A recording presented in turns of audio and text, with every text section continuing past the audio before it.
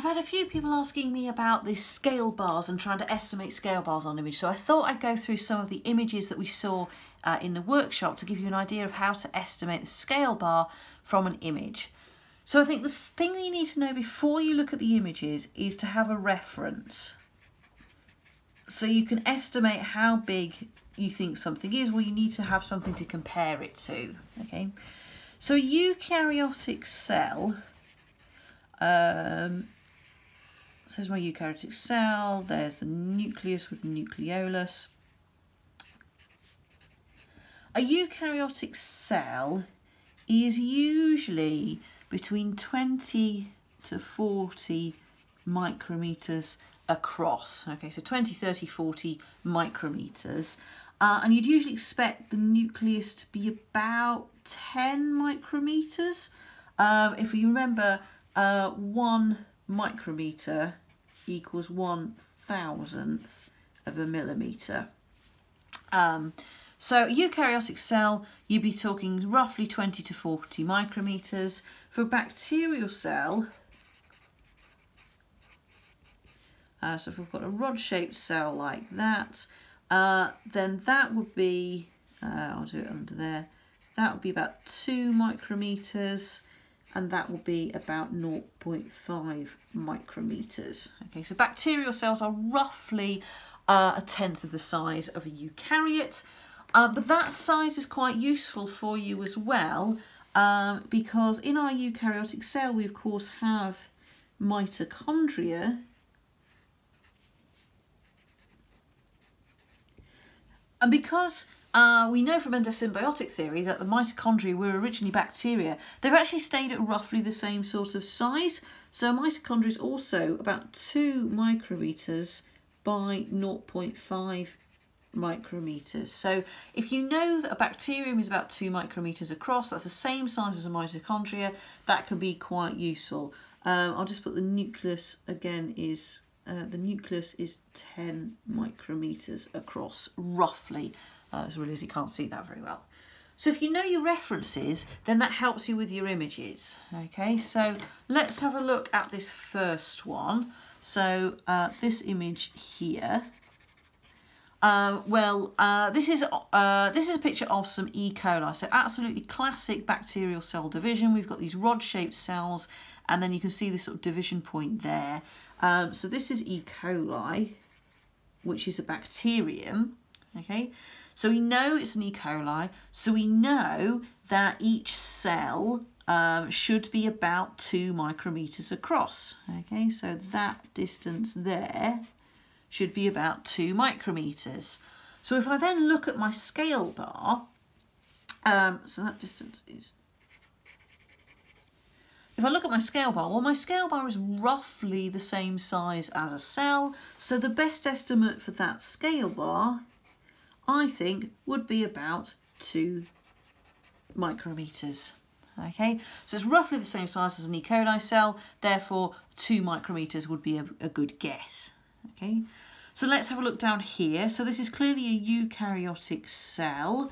Um, so this uh, structure in here, that's the nucleus. Uh, that is the nucleolus. And then we've got um, organelles around the outside of here. So uh, here we have um, all of those, I think, are mitochondria. Okay. Um, sometimes on, so if you look at a TEM image, sometimes your mitochondria will look like this. So they'll like be like sausage shaped, okay?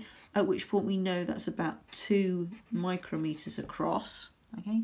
Sometimes they appear as small circles. What's happened if it's a small circle is um, the the sectioning, so the slicing of the cells happened in the other direction. So, um, so if we have, there's our mitochondria, okay? What that is, is, is imagine if you slice through the mitochondria that way. If you took, um, if you put that on end, that would give you a circle through your mitochondria. So your mitochondria are going to be about two micrometers long, sort of anything between one to 0.5 micrometers across. So now I know what I'm looking at on my image. Um, I know that the nucleus is going to be roughly 10 micrometers across. So that's looking about half the size of the nucleus, so I'd say that was about 5 micrometers. Okay, so you need to work out what you're looking at, identify the features, and then use that to work out the scale bar. So let's have another look over here. So obviously this is another TEM image. Uh, we've clearly got the Golgi in there, okay? And effectively this is a zoomed in version. So this is a mitochondrion. This here is also a mitochondrion. And as I say, they've been sliced in that end way, so they're kind of circular. You can tell they're a mitochondrion because they've got a double membrane and they've got these kind of um, bits of membrane sticking into the middle of them. Um, so those are, those sort of folds are very characteristic.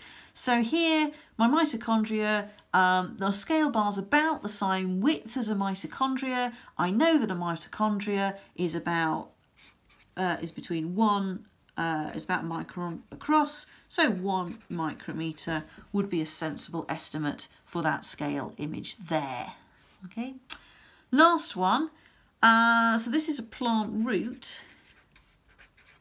So here we're actually looking at a much bigger structure. You know, you can see a root under the naked eye.